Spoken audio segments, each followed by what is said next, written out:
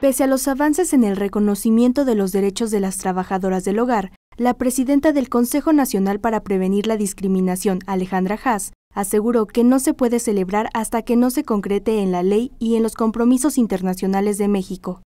2.4 eh, millones de personas, en su mayoría mujeres, que tienen condiciones laborales eh, en absoluta condición de discriminación estructural. 9 de cada 10 no tiene ningún acceso a seguridad social. Solo 2%, de acuerdo con una encuesta que levantamos, tiene un contrato escrito de trabajo. El 50% de las personas encuestadas ahí dijeron que su principal problema era no tener prestaciones laborales. Al encabezar el conversatorio La agenda pendiente sobre el trabajo del hogar, la titular de la CONAPRED señaló que este sector merece como cualquier trabajador tener una pensión, guardería, acceso a la seguridad social, contrato de trabajo, es decir, ni más ni menos que lo que tendrían los trabajadores en una condición de formalidad.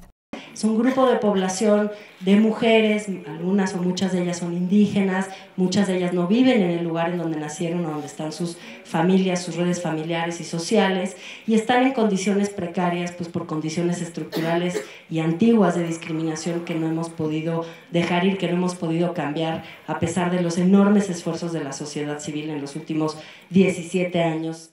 En representación de las trabajadoras del hogar, Marcelina Bautista agradeció que en el largo camino que se ha tenido que recorrer y los obstáculos que se han tenido que superar, legisladores y otras instituciones se han sumado a los esfuerzos de sus luchas. Les reconozco muchísimo el acompañamiento que nos están dando y pues el triunfo de las trabajadoras del hogar va a ser el triunfo también de, de ustedes y en diciembre vivimos como con mucha alegría estos avances que se dieron tanto para la ratificación del convenio, la presentación de la iniciativa de reforma al capítulo 13 y pues eh, lo más mencionado y lo que más defendimos las trabajadoras, que, que todas tengamos eh, seguridad social obligatorio y no voluntario. Con información de Susana Cerezo e imágenes de Raúl Monroy, Notimex.